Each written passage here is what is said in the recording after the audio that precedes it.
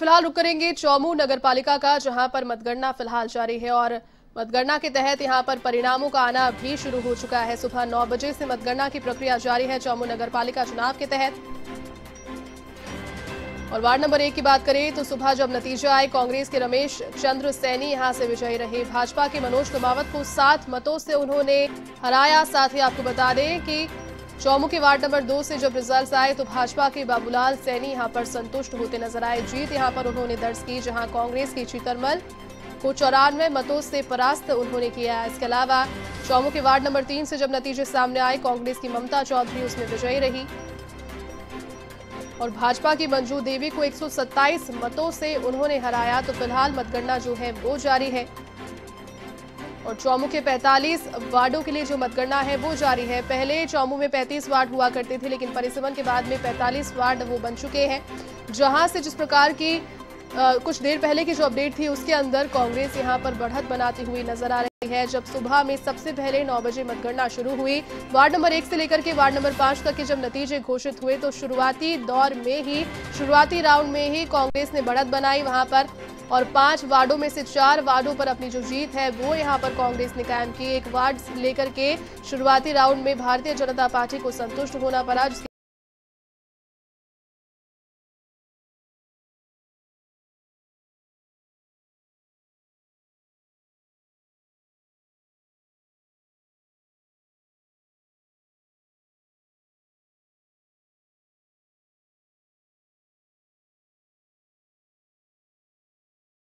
Online पर जुट गए आशीष लेटेस्ट अपडेट क्या चौमू से जी बिल्कुल लेटेस्ट अपडेट बताना चाहूँगा। 15 से 16 से लेकर के 20 नंबर वार्ड की चौथे राउंड की मतगणना पूरी हो चुकी है और लगातार कांग्रेस अपनी बनाए हुए है बढ़त बरकरार है।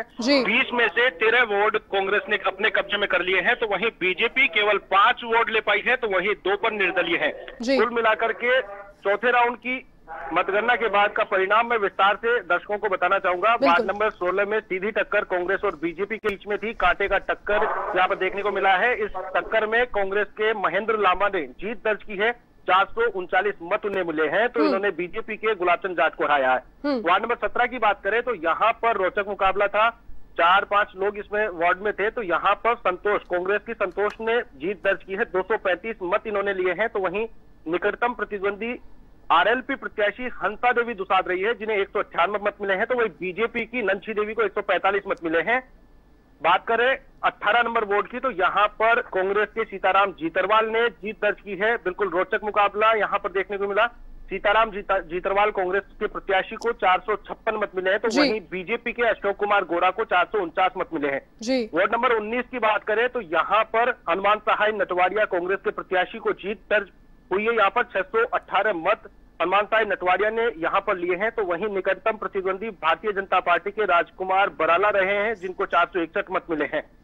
वार्ड नंबर 20 की बात करें तो यहाँ पर बीजेपी के खाते में ये सीट गई है। बीजेपी के प्रत्याशी मुकेश कुमार सिद्ध ने यहाँ पर जीत दर्ज की है। तीन सौ बयासी मत इन्हें हासिल हुए हैं। तो वहीं कांग्रेस के प्रत्याशी को 235 मत यहाँ पर मिले हैं। कुल मिलाकर के चौमू के 45 वार्ड में से 20 की काउंटिंग पूरी हो चुकी है। 20 में 13 में कांग्रेस ने अपना कब्जा जमा लिया है तो वहीं बीजेपी यहाँ पर पिछड़ती जा रही है, सिर्फ़ पाँच सीटें ले पाई है तो वहीं दो सीटों पर निर्दलियों ने बाजी मारी है। जी। चलिए आशीष, बहुत शुक्रिया तमाम जानकारी के लिए। तो चौमू से अगर बात हम करें तो यहाँ पर कांग्रेस की जो बढ़त है, वो बरकरार है और भारतीय जनता पार्टी को मात्र पाँच सीटों से 20 वार्डों में से अब तक संतुष्ट होना पड़ा।